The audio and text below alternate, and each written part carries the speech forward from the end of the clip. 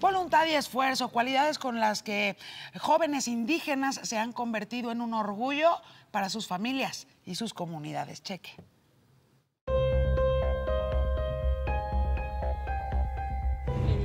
Nora es una ingeniera civil recién graduada del Instituto Tecnológico de Durango y se prepara para comenzar una maestría. Ella ha cobrado notoriedad por presumir sus raíces indígenas el día de su graduación. Digamos que sí tuve que romper ciertas barreras, pero al final de cuentas pues lo logré, como decía mi mamá en su ramo de flores, lo lograste.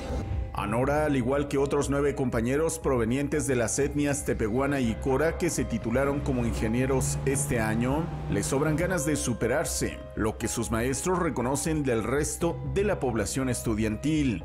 Ha trabajado excelentemente para sacar su, su carrera, que no todo el mundo la puede hacer no por falta de economía, sino por falta de actitudes, por falta de ganas de salir adelante en esta vida. Desde pequeña Nora tuvo que enfrentar la vida sola a pesar de las dificultades económicas, sociales y familiares.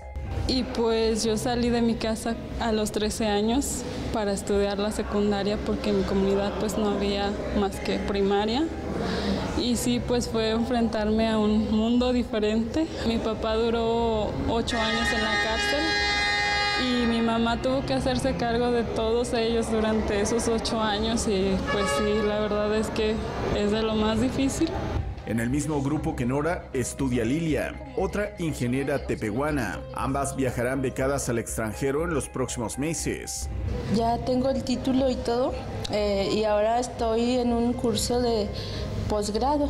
Este, próximamente me voy a ir a Canadá a, estudiar inglés. A la graduación de Nora asistieron sus padres, quienes le obsequiaron un ramo de flores envuelto en una cartulina con emotivo mensaje y un burrito mascota del Tecnológico de Durango.